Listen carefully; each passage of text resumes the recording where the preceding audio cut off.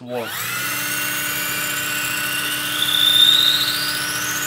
Oops, too much. You see how well this works? I just sharpen a pencil all the way.